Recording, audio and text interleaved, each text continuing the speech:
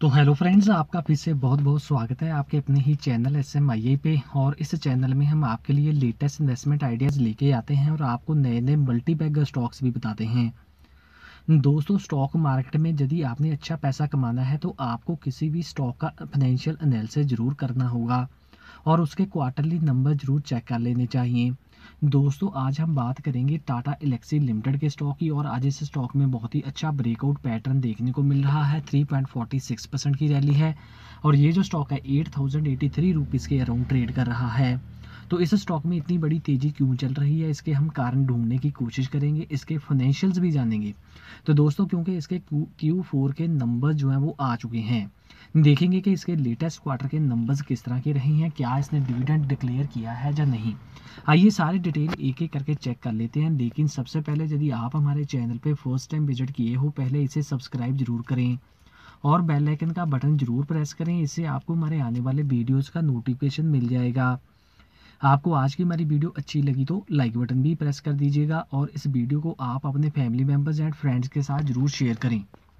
सो आइए आगे बढ़ते हैं। सबसे पहले इसके स्टॉक की पास्ट परफॉर्मेंस देख लेते हैं। तो लास्ट फाइव डे का डाटा इस स्टॉक में 5.65 परसेंट की करेक्शन ही शो कर रहा है।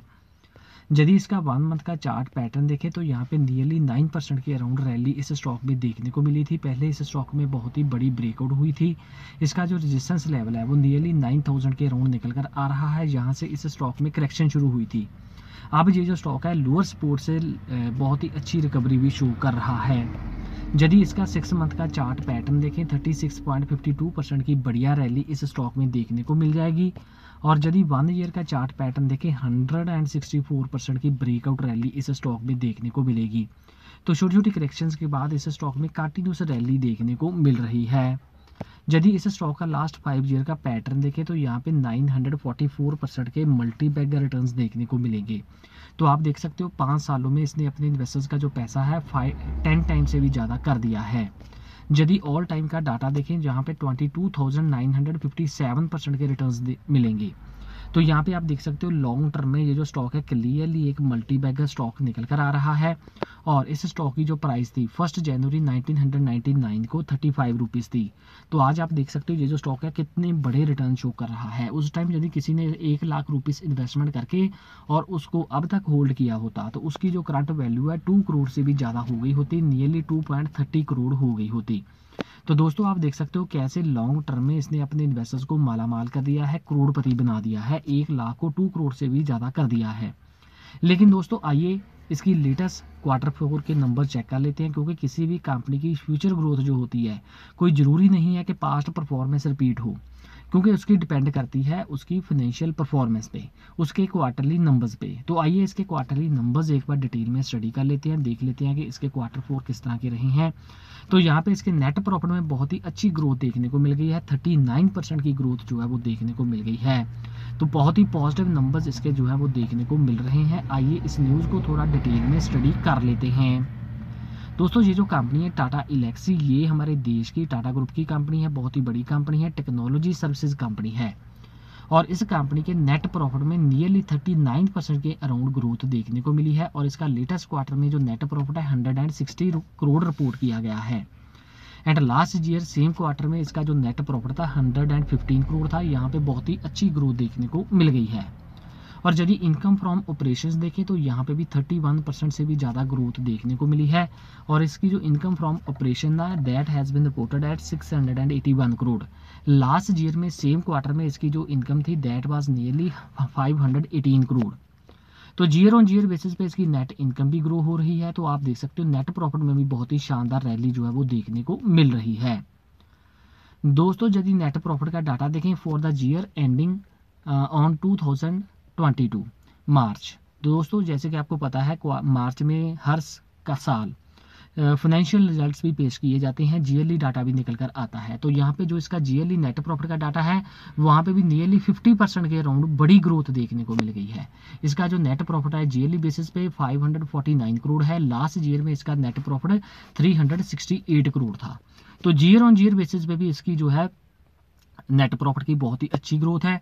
और यदि एनुअल इनकम फ्रॉम ऑपरेशंस देखें तो यहाँ पे भी 35 परसेंट की ग्रोथ देखने को मिल गई है। तो दोस्तों, इसके लेटेस्ट क्वार्टर के नंबर्स बहुत ही स्ट्रॉन्ग हैं। तो आइए इसके सीईओ का क्या कहना है? आइए डिटेल में डिस्कस कर लेते हैं। This has been the strongest year of the growth in the company's history and an all round performance across the business units industries and geographies तो आप देख सकते हो दोस्तों, इस कंपनी ने बिज़नेस यूनिट्स के अलॉन्ग इंडस्ट्रीज़ के अलॉन्ग एंड जियोग्राफीज के अलॉन्ग बहुत ही अच्छा जो है प्रदर्शन किया हुआ है।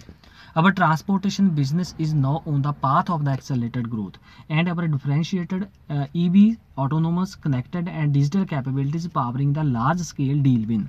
तो दोस्तों अब इस कंपनी का जो ट्रांसपोर्टेशन सेक्टर का बिज़नेस है specially in the EV sector का जो बिज़नेस है बहुत ही अच्छी ग्रोथ जो है वो शो कर रहा है and this is powering large deal wins तो इस सेक्टर में भी बहुत ही बड़ी जो है वो डील विंस हो रही हैं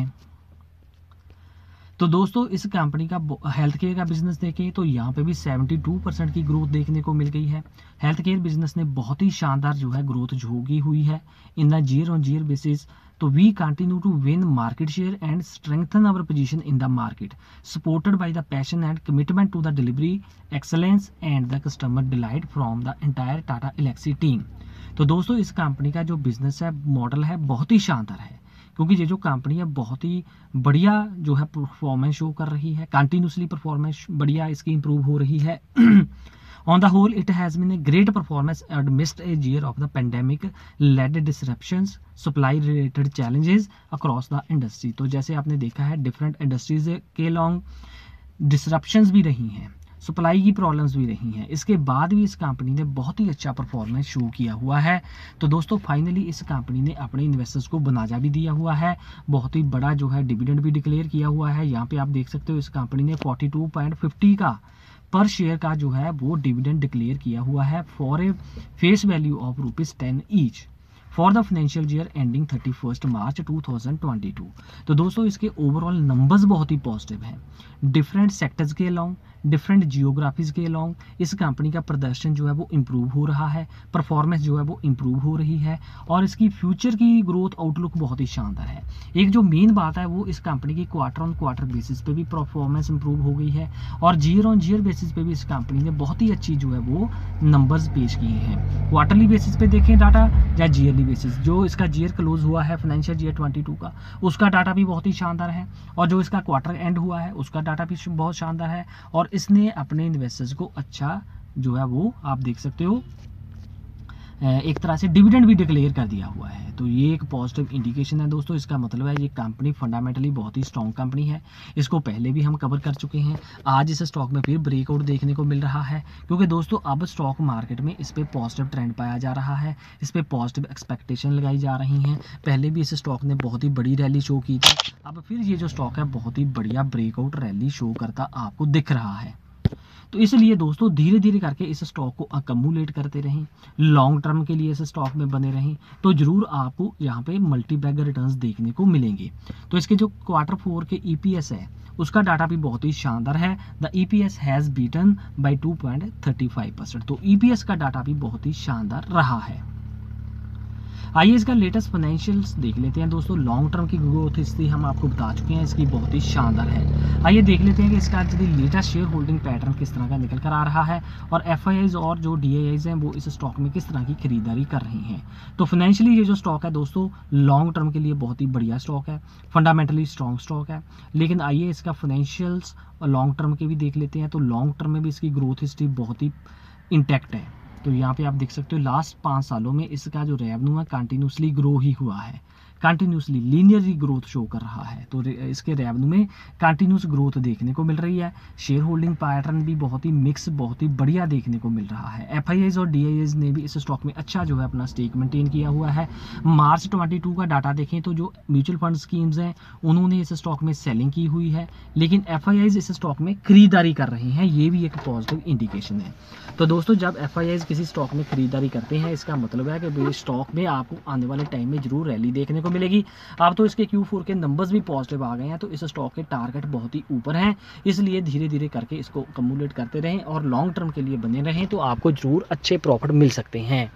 So thanks again we will meet you with a new video new investment idea अभी तक यदि आपने हमारे चैनल को सब्सक्राइब नहीं किया है तो इसे सब्सक्राइब ज़रूर कर दें और बेल आइकन का बटन ज़रूर प्रेस करें। इससे आपको हमारे आने वाले वीडियोज़ का जो नोटिफिकेशन है, वो मिलता रहेगा। आपको आज की हमारी वीडियो अच्छी लगी तो इसे लाइक भी ज़रूर कर दें